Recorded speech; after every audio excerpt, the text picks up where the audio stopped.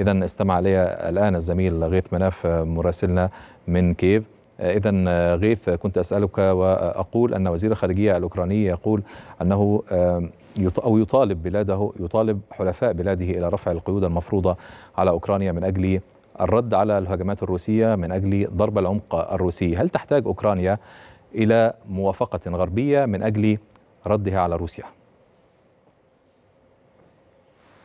بعد التحية همام بالفعل هكذا ما جاء من قبل وزير الخارجية الأوكراني ديمتري كوليبا في لقائه مع الدبلوماسي الأوروبي في الاتحاد الأوروبي بوريس جونز حيث أكدوا من خلالهم بأن القوات الأوكرانية تحتاج بالفعل إلى ضرب الأهداف العسكرية الروسية في داخل العمق الروسي. وهذه التبليغات التي يقدمها وزير الخارجية الأوكراني ديمتري كوليبا في ظل استخدام أوكرانيا للصواريخ الغربية. ولكن أوكرانيا هي ليست بحاجة إلى أخذ المشورة في استخدام صواريخها البالستية التي تحدث من خلاله الرئيس الأوكراني عن تجربة ناجحة لهذا الصاروخ والذي مداه يصل إلى 700 كيلومترا وسوف يتم استخدامه في داخل العمق الروسي وبالتحديد في العاصمة الروسية موسكو في قابل الأيام القادمة. هكذا ما أشير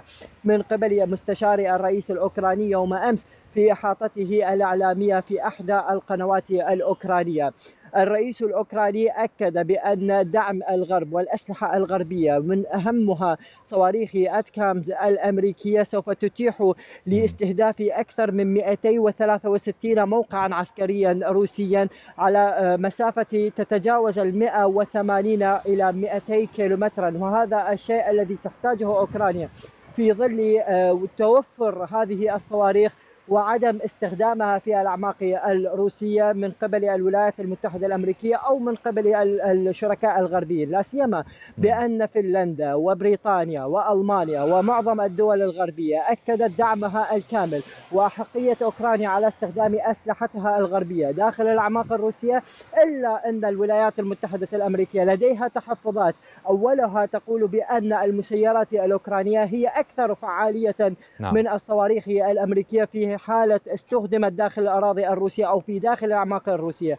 ولكن أوكرانيا هي تصارع اليوم دبلوماسيا من أجل استخدام تلك الأسلحة وربما سوف يتم الموافقة عليها في قابل الأيام القادمة. وهذا الشيء الذي اعتدناه عندما تطالب أوكرانيا بمزيد من التنازلات الغربية وثم تحصل عليها في الآونة الأخيرة وبعدها تقوم أوكرانيا بشن ضربات وهجمات. وهذا الشيء الذي يخشاه الداخل الأمريكي نعم. أولا والداخل الأوكراني كونه سوف يولد حربا عالمية ثالثة لا, لا تريدها أوكرانيا ولا تريدها الغرب. شكرا جزيلا غيث مناف مراسل القاهرة الأخبارية من العاصمة الأوكرانية كييف؟